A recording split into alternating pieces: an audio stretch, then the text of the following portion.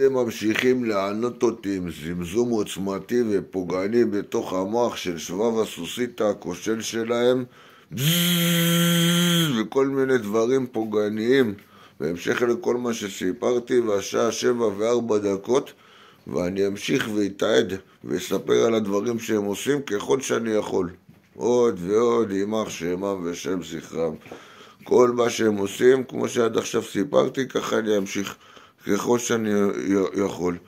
אה, אני נוהג לעשות את זה מאז שנת 2016 באופן יומיומי, וחומרים רבים מאוד של תקופות ארוכות הם לקחו לי והשמידו, לכן עכשיו אני מעלה את זה ישירות לאינטרנט.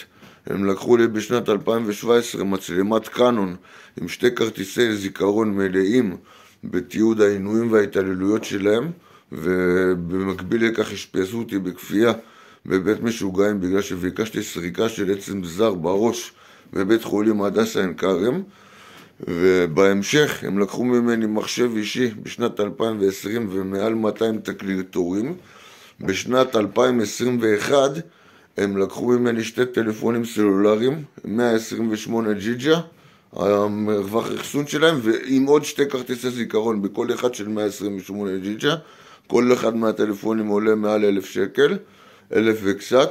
הם לקחו לי את שתיהם, זה עמוסים בתיעוד העינויים וההתעללויות שלהם מהשנים, שנת 2018, 2019 ו-2020 ובכלל השנים האחרונות.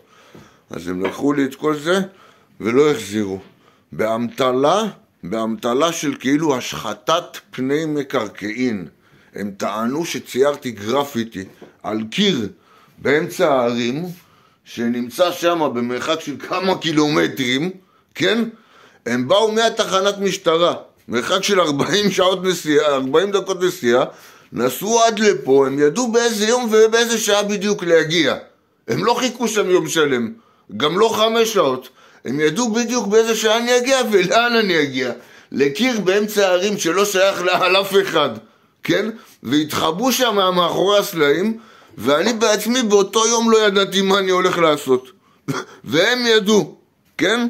אז זה באמתלה של השחתת פני מקרקעין מבלי שאיש יתלונן, קיר שלא שייך לאף אחד, גרפיטי שלא קשור לאף אחד, שגם בכלל ספק אם אני בכלל עשיתי את זה, אז באמתלה הזאתי הם לקחו ממני שתי מכשירי טלפונים סלולריים מלאים בכרטיסי זיכרון, לא החזירו לי אותם עד עכשיו וגם אה, עצרו אותי וכל מיני דברים כאלה למיניהם. בהמשך לכל מה שסיפרתי, בנוסף לכך גם כל מיני נזקים בכונן הקשיח, כל מיני קבצים נפגמו, כל מיני דברים למיניהם וזה הכל, והם ממשיכים להפעיל בכפייה את השבב הכושל, הכושל שלהם בתוך המוח שלי, אה, עושים לי זמזומים בתוך המוח כל הזמן וכל מיני דברים פוגעניים וגסים ודקירות באיברי הגוף, בהמשך לכל מה שסיפרתי על הניתוח מוח בכפייה שהם עשו לי.